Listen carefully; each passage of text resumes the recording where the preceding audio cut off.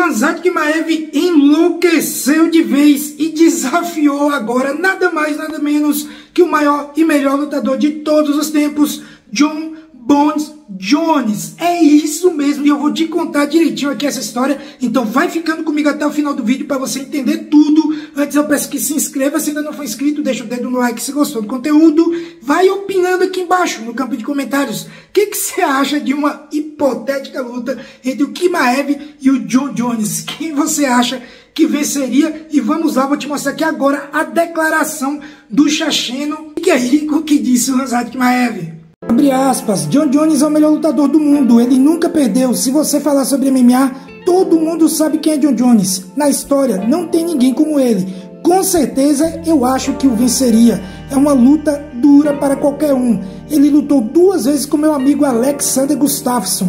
É a minha luta dos sonhos. Fecha aspas. Bom, vocês viram aí que o Kimev começou elogiando muito o John Jones, falando coisas que eu e com certeza a maioria de vocês concordam, que é o maior e melhor lutador de todos os tempos, nunca perdeu, a única derrota que tem em seu cartel. É por desqualificação e um erro brutal do árbitro, para quem não sabe ou não se lembra, o adversário que o John Jones perdeu era surdo e o John Jones desferiu cotoveladas ilegais. O árbitro foi perguntar se o cara estava bem, obviamente ele não respondeu porque não ouvia o juiz interpretou o quê? Pô, o cara tá atordoado. Então, não tá respondendo por isso, deu desqualificação ao John Jones. Ele elogiou aí, comecei concordando com tudo. Mas depois desafiou o John Jones e disse que o venceria.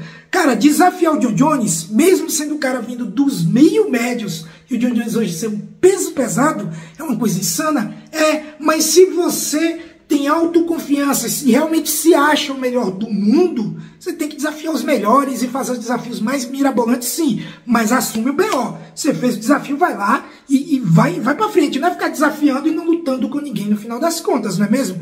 Então, assim, beleza, o desafio, tudo bem, ok. Mas dizer que eu venceria, cara, aí é um pouco demais, né? É um pouco demais. Se o Kimaev fosse um cara maior, mais pesado, seria sim uma luta dura pro John Jones. É um cara que tem um wrestling de altíssimo nível, seria difícil ser posto para baixo.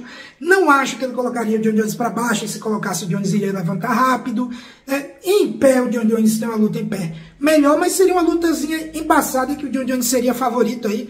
Um pouquinho de nada favorito, só 95 a 5% na minha opinião. Seria uma maluquice acontecer esse duelo aí, mas que com certeza chamaria atenção e chamaria um público que o UFC ainda não tem. A famosa venda de pay-per-view e conquistando aí fãs é, de todo o mundo que ainda não conhecia o MMA. Beleza, mas esportivamente falando é uma piada falar sobre John Jones contra o Kimaev, na minha opinião. Agora eu quero saber de você, qual a sua opinião. Você gostaria de ver John Jones enfrentando o Hazak Kimaev ou acha isso uma maluquice? Concorda comigo? Não deixe de opinar aqui embaixo no campo de comentários. Se inscreva se ainda não for inscrito, vai deixando o like se gostou do conteúdo. Tamo junto, valeu e até mais.